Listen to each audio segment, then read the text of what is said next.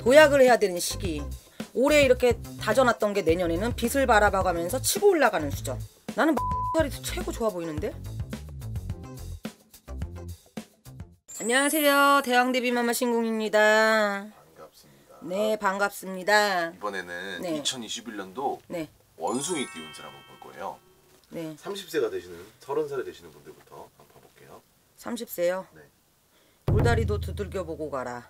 돌다리도 두들겨 보고 가라는 건 옆에 내 측근에 있는 사람이나 이런 걸 좀 조심하시고 가셔야 될 것 같아요. 기인보다는 악인. 악인이 많이 꼬인다. 음, 나를 뜯어먹으려고 하고 네. 어, 나한테 해를 가하려고 하고 네. 이런 사람들이 어, 치고 들어오라는 수전이 들어올 수 있기 때문에 네. 그 수전은 피해서 가라는 거. 음, 그리고 42살 경신생 대체적으로 이분들 나쁘지 않아요. 근데 또 좋진 않은 것 같아요. 않은 것 같은데요. 무난무난하신 건가? 그냥 무난무난 무해 무탈 별일만 없어도 되는 띠 아무 일만 근데 제가 좀 느끼는 거지만 무난한 게 제일 힘들거든요. 무난한 게 힘들죠 원래 원래 무난하게 사는 게 최고 힘든 거예요 왜냐면 이 영상을 보고 42살 분들은 되게 섭섭해하실 것 같아요. 사실. 아니 이 코로나 경기에 이 어려운 구군에 네. 아무 일 없이 무난한 것만으로도 어딘데요 무슨 일이 터져서 네. 저기 한 거보다 그냥 뭐 하려고도 하지도 말고 뭐 저기 하려고도 하지 말고 있는 거나 잘 지켜라 오케이. 그 다음. 54살 네. 무신생 여기는 이제 말년을 바라봐가면서 네. 어, 상승되는 기운이 들어왔던 기운을 잡아가야 되는 수준이다 그래 네. 도약을 해야 되는 시기 진작에 들어왔던 기가 있는데 그게 역으로 빠지거나 이러면 안 된다 그러시고요 네. 올해 이렇게 다져놨던 게 내년에는 빛을 바라봐가면서 치고 올라가는 수준 어, 어, 운세 좋은데요? 이번은 그나마 좀 괜찮은 것 네 근데 몸은 조심해라 건강에 적신호가 오거나 네. 건강을 갖다 소홀히 했던 분들 큰 병으로 갖다 키울 수 있다. 몸 관리를 조금 안 하셨던 분들 이랬던 분들은 병원을 좀 찾아가갖고 건강 검진도 하시고 장고장이 자꾸다. 여기 고쳐놓으면 여기 아프고 여기 고쳐놓으면 여기 아프고 이러는 수준. 이 나이에 비해. 그럼 마지막으로 네. 66. 이분들은 네.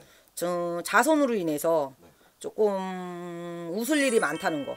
자손으로 인해서 네. 웃을 일이 많으시고 꽁돈 뭐 예를 들어서 용돈 같은 거 네.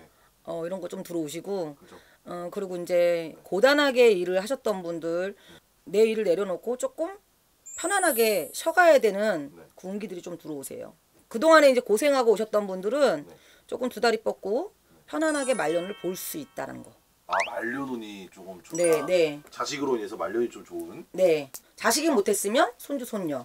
여기까지 원숭이띠 운세에 대해서 좀 풀어봤는데 네. 사실 원숭이띠라고 하면은 네. 되게 막 끼가 많다 그러고 손재주가 많다 그러고 원래 원숭이가 자, 어, 잔재주나 네. 이런 머리가 영리해요. 원숭이띠들이 대체적으로 보편적으로 봤을 때 네.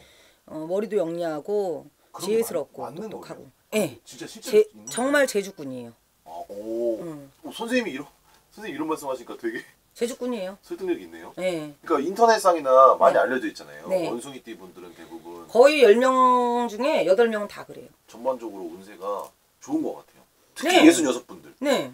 어떻게 보면은 자식으로 인해서 말년운이 좋은 거니까 나는 42살이 최고 좋아 보이는데? 42살이요? 음.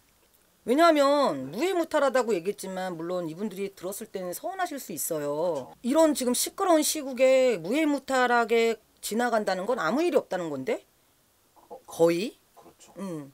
그게, 난 이런 게 좋, 좋은 것 같은데요. 그게 최고죠. 예. 뭐 예를 들어서 네. 금전수가 들어오고 대박 난다 했다가 쪽박 차면 더 힘든 거잖아요. 근데 무해무탈하고 내 것도 지키고 있는 거 안 잃고 네. 한다라는 게 무해무탈이 얼마나 좋은 건데요. 그러니까 선회 안 하셔도 될 것 같아요. 시청자 여러분들. 나쁘지 않다는 거. 감사합니다. 네, 감사합니다.